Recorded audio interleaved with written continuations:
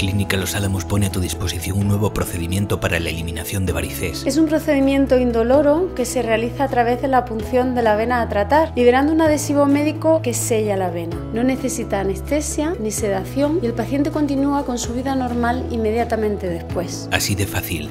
Clínica Los Álamos.